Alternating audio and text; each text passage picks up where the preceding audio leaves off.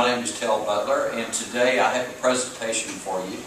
Uh, the presentation is the potential location for a new adaptive reuse building, uh, taking an office building and converting that uh, into a boutique hotel. Uh, the location is Midland, Texas, which is a growing center of uh, uh, business commerce within the state of Texas. It's been a sleeper over the past 10 or 12 years, but it's there's some very important elements that are involved now in seeing that community grow. And today, as we go through this presentation, I want to point out to you some basic things. First of all, this is only a conceptual video. This is an informational video. So there's not a lot of detail for uh, financials or detail that go into uh, deep elements of the design, but primarily this is just informational as this project begins and as it begins to walk through the next step. So realize that this project is only in the conceptual phase uh, at this point in time. So let me talk a little bit about some of the things that you're going to see in the video today.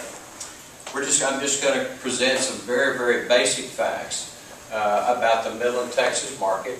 Uh, we're going to talk about uh, the fact where the hotel is located, and you'll see that in the in the uh, video uh, shortly.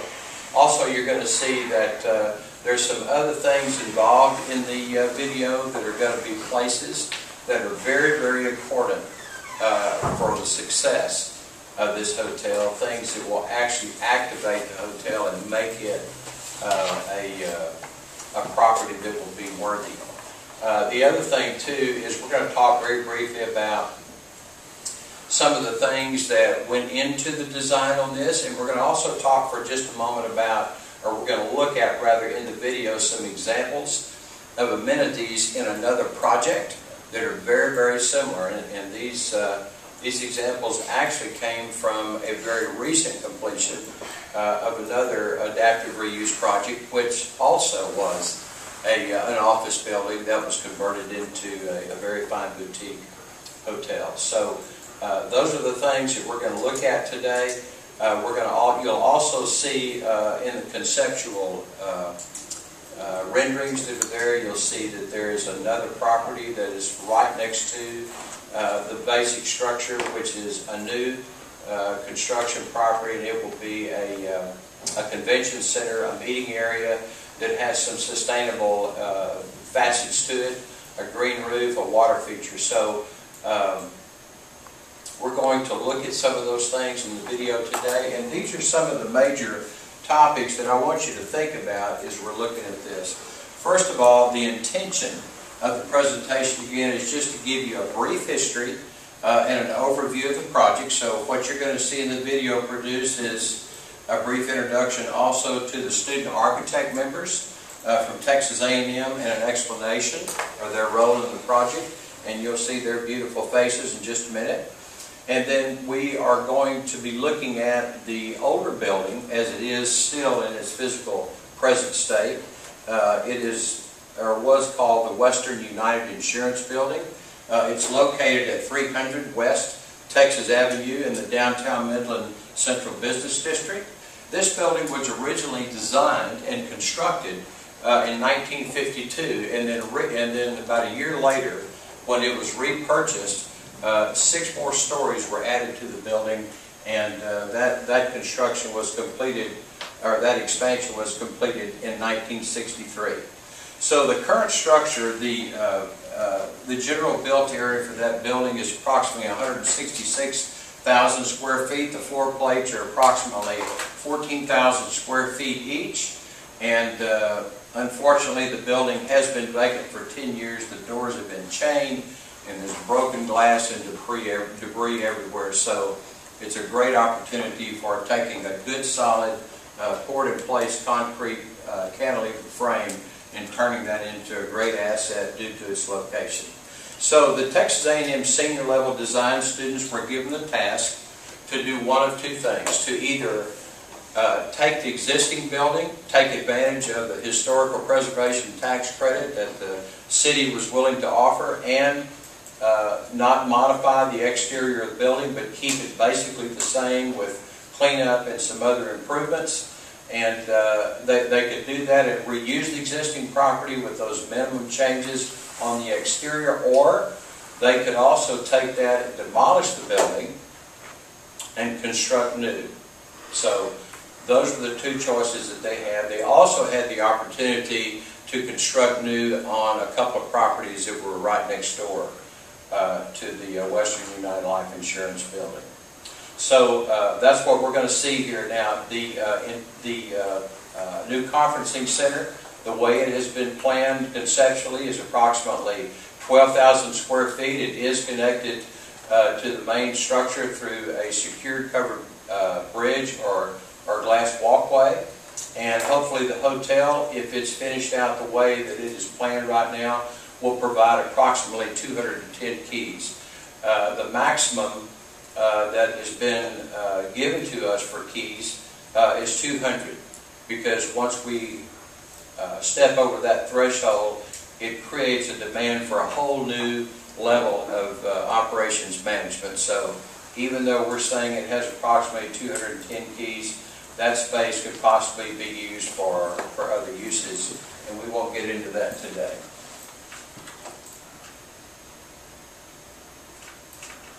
Now, in talking about how a, a land development graduate student has worked with the uh, uh, senior level architecture students, the primary thing that I tried to focus on was keeping them focused on the four main essentials of quadruple net value, which is the primary means for developing the design that is focused on achieving sensory values and also the uh, enduring aspect of creating a sustainable building.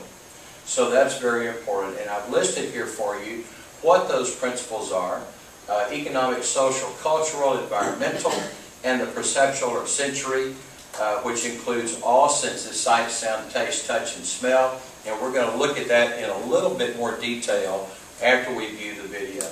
So the combination team uh, was there to create a design that embodies uh, the uh, the upscale end, excuse me, of the uh, of the hotel tenancy or occupancy, uh, because the downtown area is lacking seriously in that type of space that attracts that level of uh, traveler. And uh, the, uh, the services of a full service type hotel with, with amenities, comfort, and charm is another thing that, has a, that is a real need in the downtown area. Secondly, uh, the team was, as I mentioned earlier, was tasked with creating this conference space, which adjoins the property through a secure protected connector link. And these conference spaces will be used to hold something very important that was desired by the local area, and that is social events, such as weddings and, and uh, receptions. And then meeting spaces that would house conferences within the convenience of being located right next door to the hotel. Now, as you'll see in a minute, there is a, there is a new convention center there, which is just located about a block and a half from our site. It's called the George Bush Convention Center. That convention center was recently completed this past summer, and uh, we had the uh, uh, fortunate experience of being able to go and tour the convention center. It's a beautiful building, but there are some limitations about using only that convention center for uh, other types of conventions. It could be full at a particular time, it could be occupied by uh, reservation, so there, it may not always be available. So I think it's a, it's been a very good idea to have a conference area that can be divided up into different spaces and used by people not only in the hotel but other businesses that are located in the downtown central business district. Now these are some of the things I want to remind you about and as you see the video today I'd like for you to look in the video and use your mind to think about some of these things. So if we look at the quadruple net value aspect of this, again, I mentioned a while ago that it is a combination of sustainable development and sensory value, and that is what brings the appeal of a project like this. And these are the things that that are cut that are the four major things: the economic, the social, cultural, the environmental, and the sensory. So we know that by a uh, we'll talk about this in just a minute, we know that this is a quantifiable way to do development. We know now from past history and experience uh, that there is a way to quantify these things, and we have seen the results. Uh, Of course, for a hotel like this, the primary uh, reason is to attract repeat visitors. That's very important. And the other thing too is to have other businesses located within that facility. Businesses that will attract other businesses or that will attract customer repeat returns. Restaurants, retail space. Things that not only the hotel patrons can enjoy, but also things that will attract other people in the downtown area. And another thing that's very important on the social, social cultural part is creating that sense of community that draws people together. And it needs to tell the story of the local history. So that local history needs to be stated, it needs to be displayed, it needs to be felt by the people that come to visit that space, and it's those kinds of things that attract people to come. The other thing is the environmental. Uh, the environmental aspect is important because it talks about the fact that, that we use sustainable uh, materials, such as efficient windows, more sustainable building materials, and that we use the site creatively to take a solution to little problem areas perhaps and convert that to something that actually turns that into a very, very desirable feature of the project. And then finally, the sensory, the, all the senses are included, sight, sound, taste, touch, and smell. So when one visits a property like this, they have that sensory, they, they want, the developer wants them to have that sense of uh, uh, seeing things physically, uh, hearing the sound of music and, and other people visiting there. They want to have the ability to, to taste good food. They want to have the ability to smell beautiful things that are in the landscaping. And so all those things are wrapped up into something that make it, make it desirable and make it magnetic for people to want to come back to a project like this.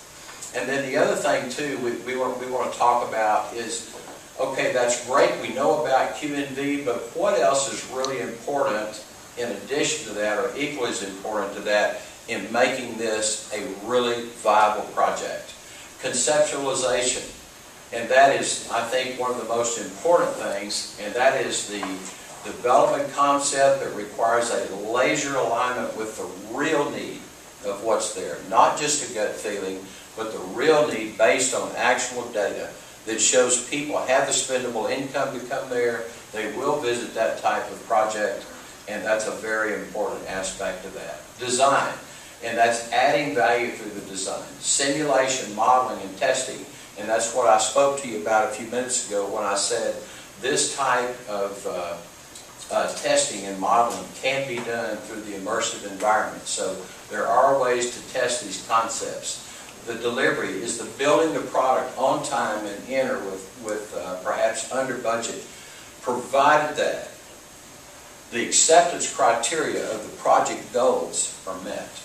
That's very important, and, they, and that has to stay in line many times as we develop things, uh, and some things push our budget a little too far in one direction or the other, uh, it's important, even if we have to best value some things, uh, to still stay within our project budget, but also to make sure that it does align uh, with what the real needs are. And then activation and marketing, that's positioning the brand of the type of development and the, and the other type of developments that are done similar. Uh, it does provide income, it does provide jobs, uh, and, and in, in addition to that, creating that environment and continuing to enhance and enrich that environment brings back that repeat visitation, which is most desirable.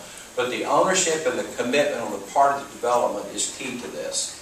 And I know that you've seen many projects in the past where, for example, like our local Post Oak Mall that has really gone down over the years. It was built in 1985, but when you visit that property, you see now how it's gone down and the type of tenants that are attracted to that facility are either local businesses or they're businesses that were there that were national brands that are now leaving the market. So it's important for that ownership and commitment uh, on the part of the developer to be maintained.